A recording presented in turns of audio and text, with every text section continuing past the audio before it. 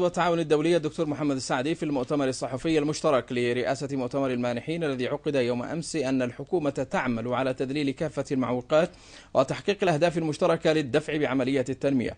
منوها إلى أن الحكومة مستعدة لصياغة رؤية نوعية للشراكة مع القطاع الخاص داعيا المستثمرين إلى الاستثمار في الاقتصاد اليمني مشيرا إلى ما يتمتع به اليمن من مقومات اقتصادية.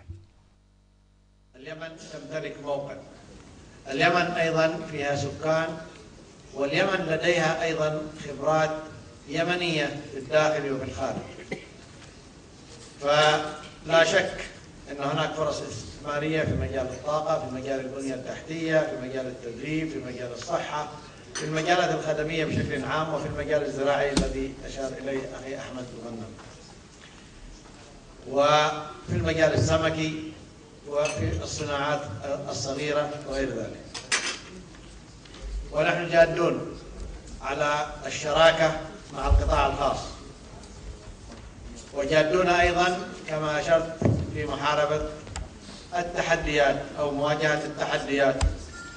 وعلى سبيل المثال منع تعدد الجهات المشرفة وتيسير الآليات المطلوبة وتشجيع الاستثمار من خلال تطوير التشريعات والعناية بالشراكة المباشرة مع القطاع الخاص.